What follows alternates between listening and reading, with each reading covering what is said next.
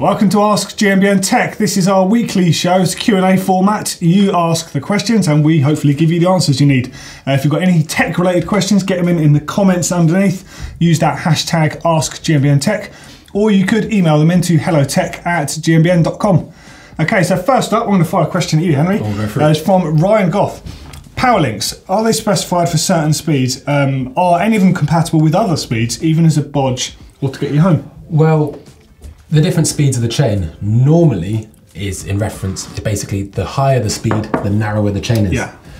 So you can, and I know people that have put, say, a nine speed quick link on a 10 speed chain, Yeah. and it's got a bit of slack just to get you home. Get you home, yeah. Um, but you wouldn't be able to go the other way around because the interface wouldn't be able to click in and pair up. Yeah, because sure. the power link would itself be too narrow. Yeah.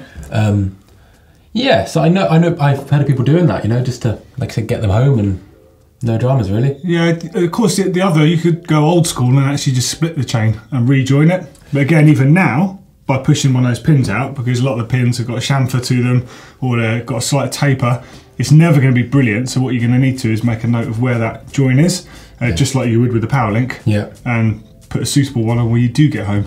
But chains have got a lot better for it. I don't haven't broken a chain in a little while. I don't want to talk about breaking chains. Yeah, so you got you got a fair few more watts in the old legs, the old Dodster. I think it's more um, being unlucky. to be honest. 'Cause I don't, I don't go through the gears like Neil does. I was good. You see him pedal away the other day? go, go, go, go, go, and you're like, oh, God, don't do that, you can break a chain. But yeah, I have broken a lot of chains in the past. Um, so I tend to try and look after my chains and always use the correct power link or the correct joining pin or whatever it is. Just pay attention to it and you'll be right. Nice. So I've got a question for you then, from King Vita or Vita, King Vita. There we go.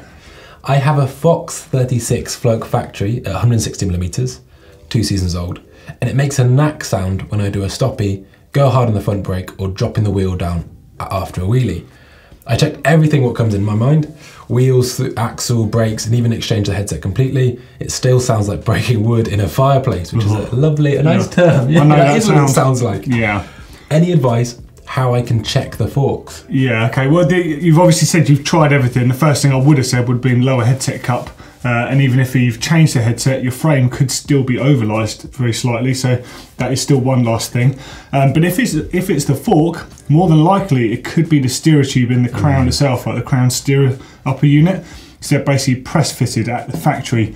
And on occasion, you're going to get one that can work its way loose. It's quite unlikely uh, to happen in a massive batch, but you do get them. I've had one in the past on a RockShox Lyrik that managed to work its way loose, and it was actually under warranty. RockShox covered that; it wasn't an issue. Yeah. But you might be unlucky enough to be outside of warranty, but I'm pretty sure they would still help you out to a Yeah. degree. It, It's worth asking. it happens a lot in steeper places where you do a lot of front wheel braking. Yep. And a really good way to test it is you want to be doing something, yeah, like hit hits a curb or something like that because it will force the wheel back and you might Kick it clack, back, yeah, and, then you want to drop it and drop off the Go curb. the other way.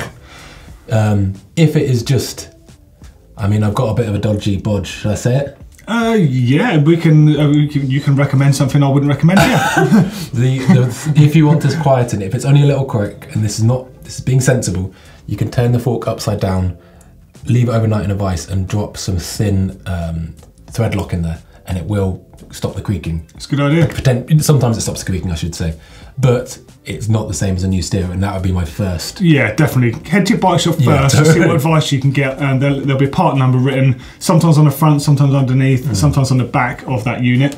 And it'll correlate to the year it was manufactured, and they'll know if there was problems at that point. Yeah. Um, yeah, and like Henry said, if it doesn't work, you don't want to pay the money. That could be a good hack Yeah, to I, I don't want any lawsuits. going. but you're dealing with safety at the end of the Yeah, day, so I, it's I probably cool. wouldn't risk it. To be fair, Yeah. if it's making a lot of noise, just sack it off. Okay, um, I am Eagle. Can I use CO2 in my forks instead of air? Well, there was We that. had this a while yeah, back, actually, yeah. There was that video of Jared Graves, EWS Whistler, I believe, just, you know, Yep. um, the the amount of air in a suspension unit, although it's very high pressure, is very small. Yeah. And um, I don't know. Do you know what a CO2 canister is rated at? Um, I don't, to be honest. No, but um, we, we did actually pick this up before, and I've tried it, and you can do it, but it's really easy to cock it up, basically, and get it wrong. And like Henry says, the amount of air that's trying to get out in one hit is far different to a shock pump or a pump. Yeah. Um, I wouldn't risk it. It's like a literally a get you home Yes. if you absolutely have to. Absolutely. And even then, if you you are going to rely on having to do that, make sure you've got one of the little interconnectors that you can adjust, um, not just like literally push it on and have the air out. There's Yes, various ones on the market. If you've got a little twist knob in it, you can you can finely tune the amount of air that comes out, or at least finely tune the air that rushes out. Yeah, it's like I've heard people of doing blowing up um, track pumps on because it's actually the, the track pump isn't rated as high. Yeah. You know, you don't realise just how much pressure's in them. yeah, I actually remember in my first ever bike shop, this is my first ever day on the job, this guy came in and said, Oh, my, my shock's not working. And I said, Oh, what's, what's wrong with it? He said, I, I don't know, it went bang. And I said, Oh, heavens, what, what pressure are you running it? He said, The compressor went that bloody quick. yeah, that says it all. Oh! CO2 does the same job as a compressor in a portable format. So uh, take heed of that information. Yeah. Uh, all right, next up from Carl Stanton. Uh, what's the best way to bed pads in um, after using the sandpaper technique? It's the one thing I've never got to feel right. I can bleed them fine, get them aligned properly, etc., but I can never get them to lock up. I was always told to ride up and down, grab the brakes, and stop without locking up 15 to 20 times, and then chuck water on them. Um, I always seem to end up with brakes that feel glazed. Ugh, dreadful days. Um, Yeah. I seem to lack any real bite. Um, I've got a 2019 Santa Cruz Hightower LT bought new, which came with SRAM Codars. Um, I know the brakes are good. It's obviously how I'm bedding them in. Questions, que- I mean, There's there's a there's a lot of There's a lot of things things. in there. For me personally, I like to just wear the pads until they're sitting parallel to the brake and to the rotor. Um, I don't really get involved with too much else. You do see people doing the various tricks. I don't understand the water thing. I think the the water thing and some people put mud I've seen on some, Hmm. all sorts of stuff. I think that's like a, rescuing a duff pad Yeah. rather than bedding in a, a fresh pad. Yeah, because I'd imagine the water would be there to exaggerate the wear, so Yeah. it gets parallel sooner. Yeah, Um, I I would do it dry personally yeah every time. Yeah, And what you said to start with, you know, pacing up and down the road and stopping firmly 15 or 20 times normally does it. Mm. Because what you want is some material from the pads to deposit on the rotor, so they're kind of they're they're equally matched. I guess is a right Yes. word to say. but what potentially could have happened is imagine riding a bike and not bedding in the pads, so the Yeah. pads get slightly glazed, Yeah. which then glazes the rotor. Then you Yeah. bed in the pads properly, Yeah. but then they're actually always vibrating off the rotor. Yeah. Um, you get So- the turkey goblin noise when it happens as well. yeah, so maybe sandpaper the rotor. Try and not do it in the direction of braking. Um, and sometimes, if you do find this is a, an issue you're having, some people they're they're like you know they don't get along well so well with sintered pads. Maybe it's Yeah. try some organic ones. Yeah, that's a good point. Actually, different pad the friction of them Mm. beds in very differently. Sintered can be a pain because they're quite hard. They do take a bit longer to bed in. Yeah. um, and they will howl if you don't bed them in properly, which is good enough reason just to sack them off, get a fresh pair. yeah. Because you end up not wanting to use the brakes because you're embarrassed to use your brakes, and Yes, you're, totally. you're going to kill yourself. So, um, take your time bedding your brakes in. Again, uh, I'd avoid the water for sure um, if you got fresh pads. We did do a video on what to do if your pads and your disc rotors are glazed. Of course, it's not a guaranteed it's going to fix, but if you want to effectively start fresh with yours, throw a link to that video in the description underneath. So it's definitely worth a look if you feel like they're, they're past their best, but you still want to try and recover them a bit.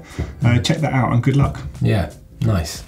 So, Doddy, I've got a question for you from Razvan Gabriel, and he says, Hello, I'm wondering, does the Nukeproof Scout 27.5 fit 29ers also? If yes, do you know how much clearance it has and maximum tyre width? Considering getting a Scout 27.5 for the plus tyres and having a spare set of wheels for more XC focused races. Thanks in advance. Right, okay, so I've had the 29er and now I've got a 27 and a half. Um, the 29er, you can fit a 27 and a half up to 2.8 in there. I reckon you could probably get a tiny bit bigger, but it's going to be tight. Um, not tried it, so we could try it and find out. But with the 27 and a half, there's still loads of clearance, but I don't think you'd get a 29 in there. If you did, it'd be like so close to that seat tube. Um, we'll have to try that one just to see Yeah. if it will fit, but I'm not sure to be honest. Because you do get a lot of bikes that go 29 slash 27 plus. Yeah, But then going the other way, I guess they must make the stage shorter. Yeah, I'll tell you what, um, you caught me out on this one. So, what we're going to do is we'll actually try it with a few different tyres we've got here, a few different sizes, And in the next ask, we'll pick this up again and we'll just show you, have a little demo just to show you uh, how close it actually is if it does go in.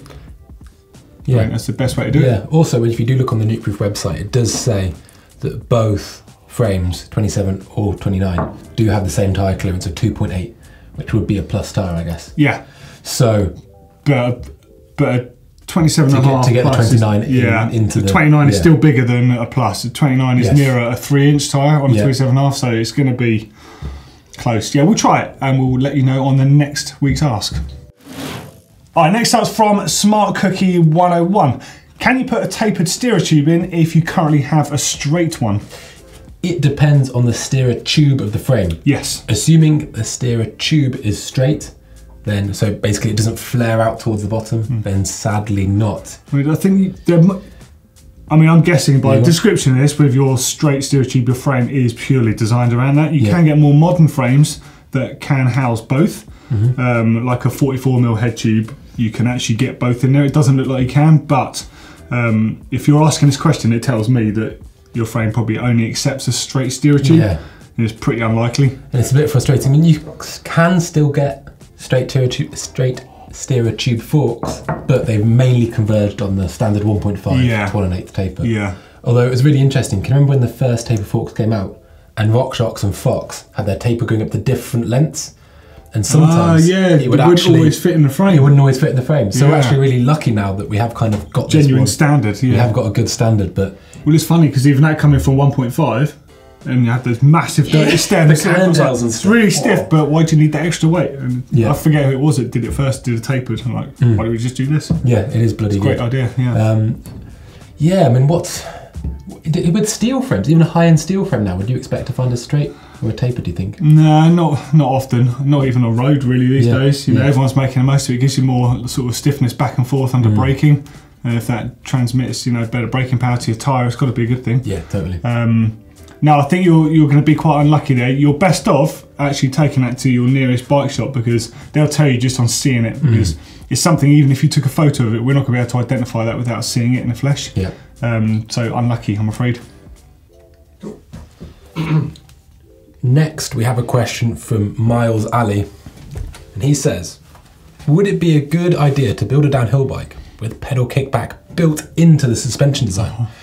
My explanation is you pump into the bike and keep your feet level, so you can gain forward energy without pedaling. If that makes sense. Now, uh-huh. I believe we were talking about something similar the other day. Yeah. And I mean, it was like a crime watch reconstruction. Doddy explaining this bike, Yeah. and go just oh, and it through pumps. It just oh, oh. okay, so yeah, the bike you're talking about is uh, was a Kiwi. Uh, it was a handmade steel frame, and they used to make amazing hardtails and some very good suspension bikes by all accounts. But this particular one, the guy came to see us with, had a very high pivot. So high, in fact, that if it was out today and you put an idler wheel on it, it'd look pretty modern. yeah. Except it didn't. And the whole point of an idler wheel is to avoid the whole chain growth thing, of which by having a high pivot, you get extreme amount of chain growth, and you get the pedal kick back, Your rear mech wants to pull itself off the bike completely, snapping chains, etc., which actually happened on that bike.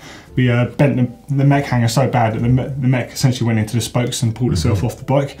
Um, and at the time, I don't know if it was a designer or a marketing person or representative from the company, I think they tried to tell us or insinuate that that was built into the bike for exactly what you're talking about. And it's like, so I don't buy that. Just doesn't work, No, it doesn't work because it's, it hinders you too much in other areas. Yeah. Um, so I would just say a straight out no. And- you want suspension to have no bearing on what's going on with your pedals. Yeah, totally. That's something that's been, you know, it's not a motorbike where you've got a throttle to get it done and you Mm-hmm. can figure other thing, other things out. You've got a pedal thing at the end of the day. Yeah, and especially when you take into into fact if you have the the transmission and suspension interwoven with each other Yeah. completely, then you're taking braking forces as well, Yeah. and you're going down, and you're every time you hit a but you know, Well, you can it ratchets your pedals Yeah, around, exactly, you know, yeah. and whilst you might think you could use that coming out of a turn, the other effect is if you're coming into like a choppy turn, it's going to be like forcing your ankles back off. You know, your Mm. Yeah. feet can come off the pedals. You know, as I just explained, the rear is going to put itself forwards. It's just not a good setup to have. and it is really interesting though, just how much force and what you said about braking components. Yeah. how much force both the rider has, but also how much force can be delivered to the rider by, via the suspension. Yeah, there's absolutely. a lot of very high impact things Yeah. going on there. Which is um, why it's really taken until now for suspension designs to be this good. Mm. I think mostly we're pretty lucky. You know, you'll find it hard to pick a bike that's got a bad suspension design. Mm-hmm. There's definitely better ones out there than, you know, than the average ones, but it's not like it used to be where you could still buy things with terrible suspension platforms. Um, we'll have that another day, actually. I think Yes. some of the worst designs ever. We'll have a bit of a laugh at some. There we go. There's another Ask GMBN Tech in the bag. Any questions? Uh, anything you want to know? Let us know in those comments, and don't forget to use the hashtags. Um, I'm going to throw you to Henry's video on silencing a bike right down here, cable rattle in particular. Oh yeah, that's pretty cool. And I'm also going to throw down to your podcast. So maybe while you're getting your bike quiet, you can listen to that in the background, the synergy of two. And yeah, don't forget to like and subscribe. Really important to do because we can keep these content coming. Yeah, and give us a thumbs up. Cheers, guys.